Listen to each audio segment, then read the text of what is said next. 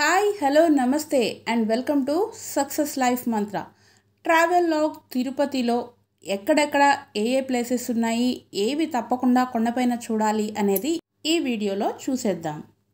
చిత్తూరు జిల్లాలో తిరుపతి నగరాన్ని ఆనుకుని ఉన్న తిరుమల కొండపైన శ్రీనివాసుడు వెలసి ఉన్నాడు కలియుగ వైకుంఠం వెంకటాద్రికి సమానమైన క్షేత్రం ఈ పుణ్యక్షేత్రం.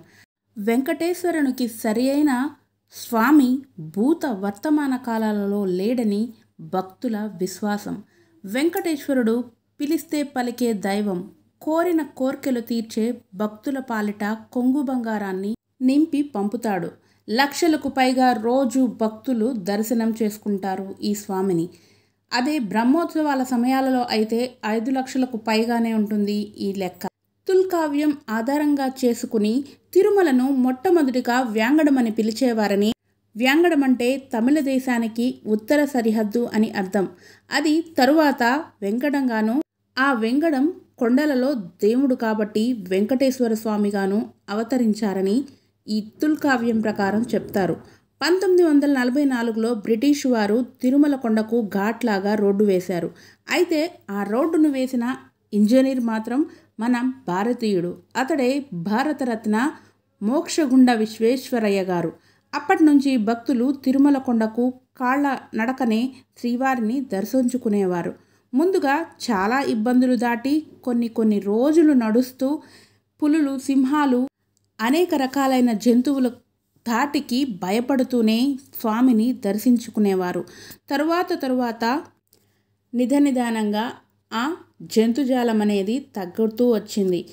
కొండకి నాలుగు వైపుల నుంచి దారులు ఉండేవి. అయితే ఇప్పుడు మూడు మాత్రమే మిగిలాయి. అందులో ఒకటి తిరుపతి నుండి అలిపిరి కాలిబాట చంద్రగిరి వైపు నుండి శ్రీవారి మెట్టు సోపానం అలాగే ఇంకొకటి మాముంటూరు నుండి అన్నమయ్య వారి కాలిబాట.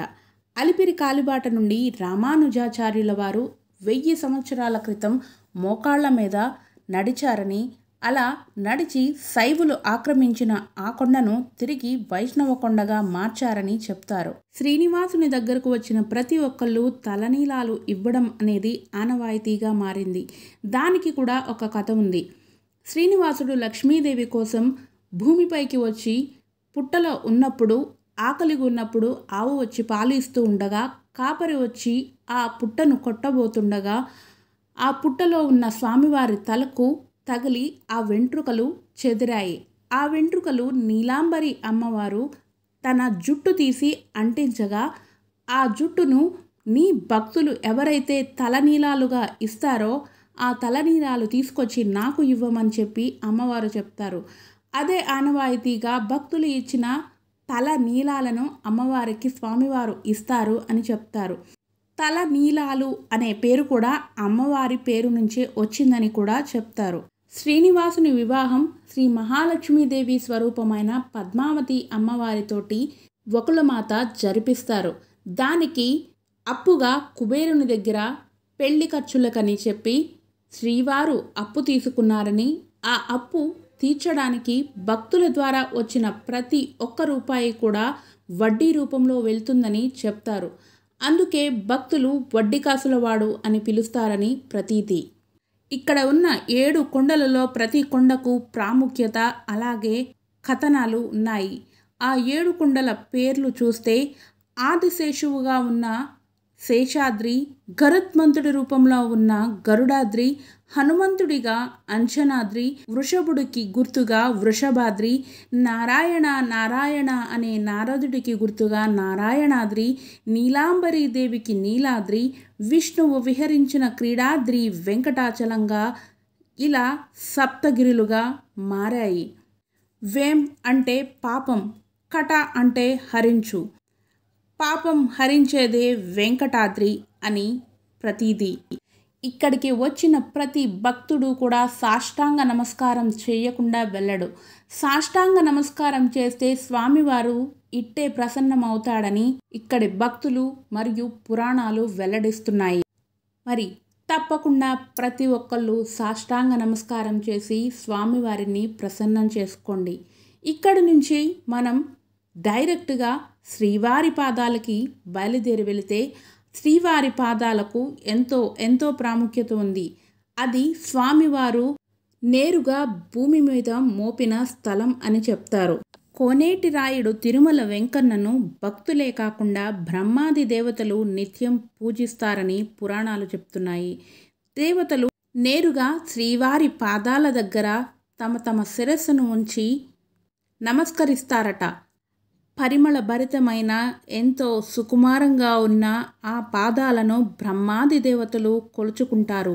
రెండు పాదాలు సరిసమానంగా మనకి దర్శనం ఇస్తాయి. ఎన్నిసార్లు చూసినా ఎంత దర్శించినా కూడా తనివి తీరకపోగా ఎప్పటికప్పుడు మనసు పులకించేలాగా చేస్తాయి ఆ సుకుమారమైన పాదాలు. ఆ స్వామివారి పాదాలు సాక్షాత్తు శ్రీ మహాలక్ష్మీదేవి తన సున్నితమైన చేతులతో అత్యంత సుతిమెత్తగా వారి పాదాలను ప్రేమగా వత్తినప్పుడు ఎర్రగా కందిపోయే స్వామివారి పాదాలను వర్ణించడం సాధ్యం కాదు. ఋగ్వేదంలో కూడా స్వామివారి పాదాల గురించి ఎంతో అద్భుతంగా కీర్తించారు. శాశ్వతమైన అందరికీ దర్శనీయమైన అనుభవయోగ్యమైన తేనేల వంటులే అని ఎన్నో కీర్తనలు స్వామివారి పాదాలకు అంకితమయ్యాయి. స్వయాన స్వామివారే ఆయన కుడి చేత్తో పాదాల వైపు చూపిస్తూ దర్శించుకోమని చెప్తారు. దివ్యమైన ఈ పాద పద్మాలు నిత్యం తులసి దళాలతో పుష్పాలతో నిండి ఉంటాయి. ఉదయం సుప్రభాత సమయంలో మాత్రమే నేరుగా బంగారు పాదాలను చూసే భాగ్యం కలుగుతుంది. బంగారు తొడుగు ఉంటుంది నిత్యం సుప్రభాత సేవ సమయంలో కూడా. ఒక్క శుక్రవారం మాత్రం మూల విరాట్ యొక్క నిజపాద దర్శనం కలుగుతుంది. ఆ రోజు బంగారపు తొడుగు తీసి అభిషేకం చేస్తారు. ఆ రోజు మనకి నిజపాద దర్శనం తప్పకుండా చేసుకునే వీలుంటుంది. స్వామివారిని దర్శించుకున్న పిదప కిందకు వస్తే ఇక్కడ బేల్పూరి చాలా చాలా బాగా చేస్తున్నారు. చాలా ప్లేసెస్లో నేను తిన్నాను బట్ ఇక్కడ చాలా యునిక్గా ఉంది టేస్ట్ మీరు కూడా ఒకసారి ట్రై చేయండి. అలా స్వామివారిని దర్శించుకుని ఈ బేల్పూరి తీసుకుని హాయిగా కూర్చుని తింటూ ఉండగా బడబడ వర్షం పడిపోయి ప్రకృతికి అందాన్ని మేళవింపచేసి ఇంకా ఇంకా అందంగా తయారైంది ఈ సహజమైన కొండ చలువరాతి వెన్నెలలు అన్నట్టు తయారైంది ఈ పచ్చని అడవి. అక్కడి నుంచి డైరెక్ట్గా వెళ్తే మనకి నెక్స్ట్ వచ్చేది వేద పాఠశాల. ఈ వేద పాఠశాల ప్రస్తుతం చూడటానికి లేదు అన్నారు. అక్కడ వరకు వెళ్ళాం కానీ మాకు చూడడం కుదరలేదు. సో ఇది వేద పాఠశాల లోపలికి ఎలవెన్స్ కరోనా వల్ల లేదు అన్నారు. సో అక్కడ నుంచి మళ్ళీ రిటర్న్ తీసేసుకుని డైరెక్ట్గా శిలా తోరణం దగ్గరికి వచ్చేసాము. ఇవి సహజమైన శిలలుగా ఏర్పడిన తోరణం అనమాట దీనికి చాలా చాలా ప్రాముఖ్యత ఉంది. తిరుమలలో అద్భుతంగా ఏర్పడిన శిలల తోరణమే ఈ శిలా తోరణం ఇది శ్రీవారి ఆలయానికి ఉత్తరం వైపుగా ఒక కిలోమీటర్ దూరంలో ఉంటుంది. ఇది ధనస్సు ఆకారంలో ఉంటుందని పంతొమ్మిది వందల ఎనభైవ దశకంలో శాస్త్రవేత్తలు గుర్తించినట్లు తెలుస్తుంది. వెంకటాచలంతో సమానమైన క్షేత్రం కానీ వెంకటేశుడితో సరి అయిన దేవుడు కానీ ఈ భూమి మీద ఎక్కడ కనిపించడని చెప్తారు భక్తులు. తిరుమల ఆ పేరు వినగానే మనస్సు పులకరించిపోతుంది. ఆనందభరితమై పవిత్ర భావం అలౌకిక ఆనందంతో మన మనస్సు నిండిపోతుంది. మొదటి పాదం శ్రీవారి పాదాలుగా ఉంటే అక్కడ నుంచి రెండవ అడుగు ఈ శిలాతోరణం దగ్గరే స్వామివారు వేశారని చెప్తారు. ఈ రెండవ అడుగు తర్వాత మూడవ అడుగు స్వామివారు ఇప్పుడు కొలువై ఉన్న చోట వేశారని చెప్తారు. కటిహస్తం వరదహస్తం శంఖం చక్రం నాగాభరణం గరుడ పక్షి ఇవన్నీ కూడా స్పష్టంగా కనపడే రీతిగా ఈ శిలాతోరణం ఉంటుందని భౌగోళికంగా ఆధ్యాత్మికంగా కూడా కొన్ని కొన్ని కోట్ల సంవత్సరాల క్రితమే ఇలా ఏర్పడిందని చెప్పి సహజ సిద్ధంగా ఏర్పడిన శిలలలో ఇది మొదటిదని చెప్పి శాస్త్రవేత్తలు వెల్లడించారు. సముద్ర మట్టానికి ముప్పై వేల అడుగుల ఎత్తులో ఉన్న ఈ శిలాతోరణం సముద్రానికి ఆ ప్రవహించే రీతికి తగినట్టుగా అలా కొండలు కోసుకున్నట్టుగా అంటే ఈ ముప్పై వేల అడుగుల ఎత్తు వరకు కూడా సముద్రం అప్పట్లో ఉంది నిధనిదానంగా. ఈ సముద్ర ఎత్తు అనేది తగ్గిపోయిందని చెప్పి శాస్త్రవేత్తలు వెల్లడించారు. ఈ శిలాతోరణం అనేది ఇరవై ఆరు అడుగుల వెడల్పు తొమ్మిది పాయింట్ ఐదు అడుగుల ఎత్తుగా ఉంటుందని చెప్తున్నారు. ఇదే కాక ఇక్కడ జీవుల తొలి స్థావరంగా కూడా ఉందని ఆది మానవుల ఆనవాళ్ళు మరియు పనిముట్లు రాతిపైన చెక్కబడిన చిత్రాలు రుజువులుగా నిలిచాయని చెప్తున్నారు.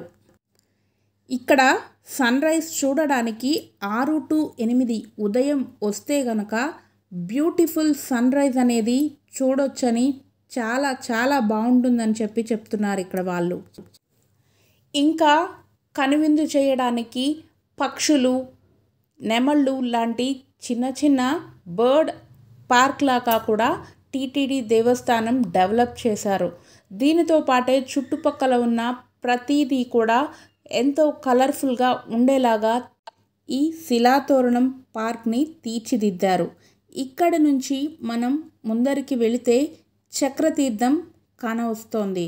స్కాంద పురాణంలో చెప్పబడిన రీతిగా శాపగ్రస్తుడైన ఒక గాంధవుడు రాక్షసుడై సంచరిస్తూ ఉండగా పద్మనాభుడు అనే తపస్శాలి ఆ రాక్షసి బారి నుండి ప్రజలను కాపాడటానికి శ్రీ వెంకటేశ్వర స్వామిని పన్నెండు సంవత్సరాలు ఘోర తపస్సు చేసి సాక్షాత్కరింప చేసుకుని భక్తుల్ని కాపాడమని చెప్పగా స్వామివారు తన చక్రాయుధంతో ఆ రాక్షసుణ్ణి సంహరించి ఆ చక్రాయుధాన్ని శుభ్రం చేస్తూ ఉండగా అది ఇక్కడ ఉన్న తీర్థంలో పడిపోగా దానికే చక్రతీర్థం అని పేరు వచ్చిందని చెప్తారు.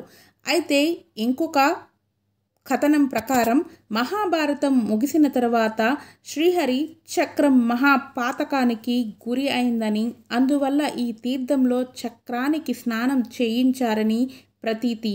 దీనిలో స్నానం చేస్తే బ్రహ్మహత్యా పాతకం శిశుహత్యా పాతకం లాంటివి తొలగిపోతాయని చెప్తున్నారు. ఇక్కడ స్నానం చేస్తే పవిత్రులవుతారని పాపాలను హరించడమే కాకుండా భూత ప్రేత పిశాచాల బాధల నుండి కూడా తొలగింప చేస్తుంది ఈ తీర్థ స్నానం అనేది అని భక్తుల నమ్మకం. దీని తర్వాత పాప వినాశనానికి దారి ఉంటుంది. ప్రస్తుతం మూసి ఉందని చెప్పి కరోనా వల్ల ఎవరిని వెళ్ళనివ్వట్లేదని చెప్పారు. వీలు కుదిరితే ఇక్కడికి వచ్చినప్పుడు మాత్రం తప్పకుండా పాప వినాశనాన్ని కూడా దర్శించుకోండి. ఆ తరువాత ఎంతో రమణీయమైన ప్రకృతిని మన దగ్గరగా తీసుకుని వెళ్ళే జపాలి తీర్థం. దీనిని తప్పకుండా చూడవలసిన ప్రదేశంగా నేనైతే చెప్తాను. మనసుకి ఎంతో ఆహ్లాదాన్ని కలిగించడమే కాకుండా వెళ్ళే దారిలో మనకి కనిపించే ప్రతిదీ ఎంతో అనుభూతిని మనసుకి హత్తుకునేలా ఉంటుంది ఈ దారి. తిరుమల కొండలలో దట్టమైన అడవి ప్రాంతంలో దర్శనమిస్తుంది ఈ జపాలి తీర్థం. వేదములే శిలలైన కొండలలో అమృత ధారలతో ప్రశాంతంగా ఉంటుంది ఈ అడవిదారి భక్తులకు మానసిక ఉత్తేజము మాటల్లో చెప్పలేని ఆనందాన్ని ఇస్తుంది ఈ తీర్థం. కలియుగ ప్రత్యక్ష దైవానికి త్రేతాయుగం నాటి రామునికి గల సంబంధం తెలియజేస్తుంది. శ్రీవారి సన్నిధిలో ఆంజనేయ వైభవం. పచ్చని కొండల్లో సింధూరం పూసుకుని ఉన్న మన హనుమంతుడు.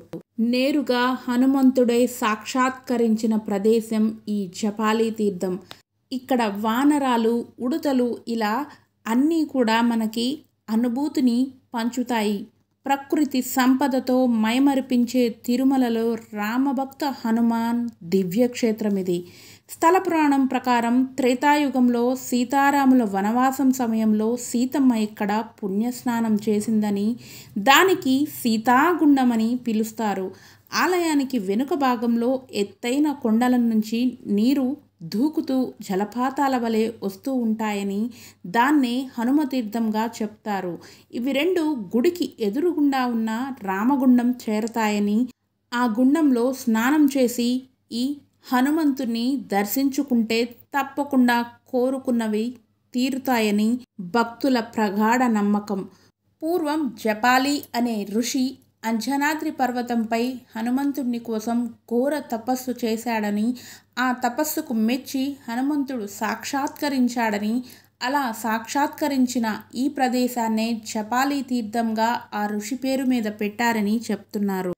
తరువాత మన పయనం ఆకాశగంగ వైపు. తిరుమల పుణ్యక్షేత్రం నందు ఉన్న ఆకాశగంగ ఎంతో పవిత్రమైనది.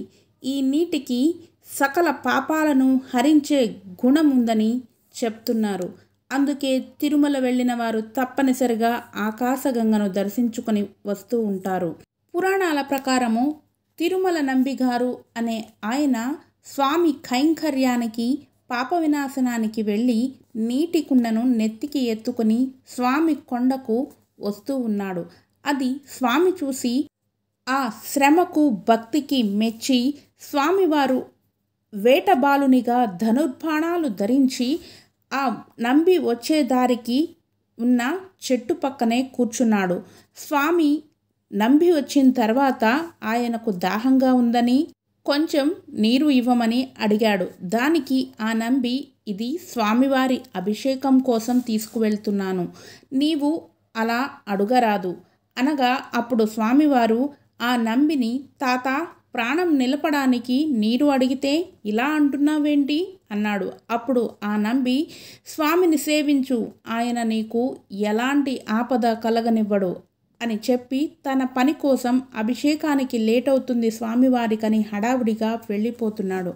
వెంటనే స్వామివారు తన ధనుర్బాణాన్ని సంధించి కుండను బెజ్జం చేసి ఆ నీళ్ళతోటే సేద తీరుతాడు. కుండ తేలికవుతుంది. ఏంటి? అని చెప్పి వెనక్కు తిరిగేసరికే ఆ కుండలో నీళ్ళు ఒక్క చుక్క కూడా లేకుండా అయిపోవడం చూసి నమ్మి అప్పటికప్పుడు శ్వాస వదిలినట్టు అయిపోయి మూర్చిల్లి పడిపోతాడు. కంటి నిండా నీరు కారుస్తూ స్వామిని తలుచుకుంటూ. ఆ భక్తి ప్రపత్తులకు మెచ్చిన స్వామివారు అప్పటికప్పుడు కొండకు సంధించి బాణాన్ని ఆకాశగంగను ఆహ్వానిస్తాడు. ఆ ఆకాశగంగ స్పర్శకు నంబి తేరినట్టు అయి చూసి అటు ఇటు బంగారు బిందెను పట్టుకుని నీళ్ళు గబగబా దాంట్లో నింపుకుని స్వామివారి అభిషేకానికి సమయం అయిపోతుందని వెళ్ళిపోతాడు. చుట్టూ ఉన్నవాళ్ళు నివ్వెరపోయే విధంగా ఆకాశగంగా పొంగి పర్లుతూ ఉద్భవించింది ఈ భూమి మీద స్వామివారి అనుగ్రహం నంబి మీద ఉండడం వల్ల. అలా ఆకాశగంగ తీర్థంని దర్శించుకుని వెంటనే వేణుగోపాల స్వామి గుడి ఉంటుంది.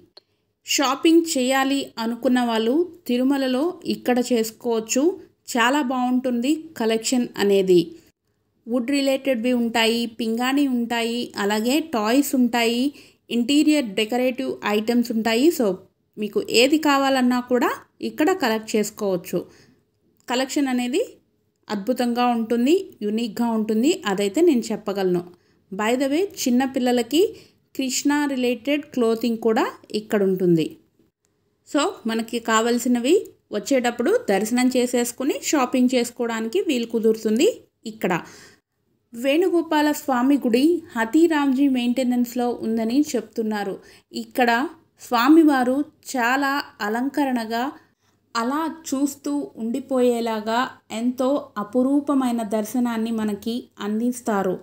ఆ పక్కనే హతీరామ్జీ గారిది ఆశ్రమం హనుమాన్ టెంపుల్ ఇలా అన్నీ కూడా కొలువై ఉంటాయి. ఈవినింగ్ టైం మేం వెళ్ళేసరికి దర్శనం కంప్లీట్ కావచ్చింది. కరోనా టైం వల్ల మ్యాక్సిమం సిక్స్ ఓ క్లాక్కే కంప్లీట్ చేసేసుకుని అందరూ రిటర్న్ అయిపోతున్నారు. సో కరెక్ట్గా సిక్స్కి వెళ్ళాము. సంధ్యా సమయంలో వెళ్ళడం వల్ల అక్కడ ఆచార్యుల వారు మాకు ఈ నెమలి పింఛంతో కూడా దిష్టి తీశారు. ఇక్కడ ప్రతి ఒక్కళ్ళు కూడా చూడగానే మనసుకి ఎంతో ఆహ్లాదాన్ని అలాగే గురుతత్వాన్ని మనకి చూపించే విధంగా ఉంటున్నారు. చూశారు కదా ఈ క్లోతింగ్ అంతా కూడా ఉంటుంది ఇక్కడ. కావలసిన వాళ్ళు చక్కగా షాపింగ్ చేసుకోవచ్చు. ఇలా కొండపైన ప్రతి ఒక్కటి కూడా మిస్ అవ్వకుండా మ్యాక్సిమం అన్నీ దర్శించి ఆ పుణ్యఫలాన్ని మీ ఇంటి వరకు మీ ఊరి వరకు మీ ప్రపంచం వరకు మీ చుట్టూ ఉన్న మనుషుల వరకు తీసుకొని వెళ్ళండి. ఇలా మేము దర్శనీయ స్థలాలు అన్నీ అయిపోయాక ఇవన్నీ కూడా పీఠాధిపతుల స్థలాలన్నమాట. చిన్నజీయర్ స్వామి వారిది. ఇంకా ఎన్నో పీఠాధిపతుల మఠాలు కూడా ఇక్కడ నిలవై ఉన్నాయి ఈ కొండల పైననే. సో అవన్నీ కూడా ఒక్కసారి చూసేయండి. అలా ఒక్కసారి ట్రిప్ వేసేసిన తర్వాత కొండ పైననే మనకి స్వామివారిది మ్యూజియం కనపడుతుంది. ఇక్కడ ఎంతో పురాతనమైన స్వామివారికి ఉపయోగించిన ప్రతి వస్తువు కూడా ఇక్కడ పెడతారనమాట ఈ మ్యూజియం అనేది మనకి మొత్తం వృత్తాంతం అంతా కూడా తెలియచేస్తుంది. ఎక్కడెక్కడ ఏమేమి ఉన్నాయి మనం ఏమేమి దర్శించాలి అసలు వృత్తాంతం ఏంటి శ్రీనివాసుడి యొక్క చరిత్ర ప్రతి ఒక్క వస్తువు కూడా మనకి స్పృశించే విధంగా ఉంటుంది. చాలా యూనిక్గా ఉంటుంది. తప్పకుండా ఈ మ్యూజియంని కూడా మీరు చూడండి. లోపలికైతే కెమెరా ఎలవ్ లేదు. ఎక్కడెక్కడైతే మ్యాక్సిమం కెమెరాస్ ఎలవెన్స్ ఉందో అవన్నీ కూడా నేను మీకు చూపించాను. సో రిస్ట్రిక్షన్స్ ఉన్న చోట తప్పకుండా మనం కూడా పాటించాలి. వాళ్ళకి అనువుగా మనం మెలగగలగాలి. అప్పుడే అందరికీ హ్యాపీ కదా. మరి ఇన్ని విధాలుగా మ్యాక్సిమం ట్రై చేసిన ఈ వీడియో మీకు బాగా నచ్చింది అనుకుంటున్నాను తప్పకుండా ఒక గైడెన్స్ లాగా మీకు ఉపయోగపడుతుందని యూస్ఫుల్ ఇన్ఫో ఇచ్చాను అని అనుకుంటున్నాను. కొండపైన చూడవలసిన ప్రతి ప్రదేశం గురించి కూడా నేను వివరించాను. ప్రతి ఒక్క ప్లేస్ కూడా సపరేట్గా వీడియో కూడా చేశాను. సో అవి కూడా ఫాలో కండి. నేను అప్లోడ్ చేస్తూ ఉంటాను. బై ద వే స్వామివారి దగ్గరకు వచ్చి ప్రసాదం రుచి చూడకుండా మాత్రం అస్సలు వెళ్ళకండి. స్వామివారి దర్శనం కాగానే బయటకు వచ్చేటప్పుడే లడ్డు ప్రసాదాన్ని ఇస్తారు. దానిని ఒక్క నిమిషం కూడా మనం చేత్తో పట్టుకోలేము. వెంటనే నోట్లో వేసేసుకుంటాము. అంత కమ్మగా ఉంటుంది అనేది నోటితో చెప్పలేనంత రుచి స్వామివారి ఆశీస్సులు అందులో మింగిల్ అవ్వడం వల్ల దానికి ఆ రుచి వచ్చిందని నేను భావిస్తూ ఉంటాను. ఏ గుళ్ళో అయినా స్వామివారి ప్రసాదం అనగానే దానికి ఉండే రుచి అమోఘమంతే. పులిహోర అవనియండి దద్దోజనం అవనియండి ఈవెన్ చిన్న చిన్న పంచదార పొలుకులు అవనివ్వండి. స్వామివారి చేతుల దగ్గర నుంచి మనకొస్తే అది అమృతమే కదా మరి? సో తప్పకుండా దాన్ని కూడా రుచి చూసేయండి. అనుభూతిని మిస్ అవ్వకండి. మరి ఇలాంటి సాంప్రదాయ విలువలు మరియు స్థల పురాణ గాథలు హిందూ టెంపుల్స్ విశేషాలు విశిష్టత చరిత్ర ఇలాంటి ప్రతి ఒక్క ఇన్ఫర్మేషన్ తోటి మీ ముందుకు వస్తూ ఉంటుంది. మీ సక్సెస్ లైఫ్ మంత్ర. మరి దానికి తప్పకుండా మీరు మాత్రం చేయాల్సింది సబ్స్క్రైబ్ చేసుకోండి. తెలిసిన వాళ్ళందరికీ కూడా యూస్ఫుల్ ఇన్ఫోని ఫార్వర్డ్ చేసి ఇన్ఫామ్ చేయండి. సో దట్ వాళ్ళు కూడా మిస్ అవ్వకుండా ఛానల్ని ఫాలో అవ్వగలుగుతారు. మరి ఇలాంటి సూపర్ విశేషాలు వస్తూనే ఉంటాయి. Stay tune to our channel Success Life Mantra until then yours Geetha signing off జై జవాన్ జై కిసాన్ అండ్ జై Hind thank you so much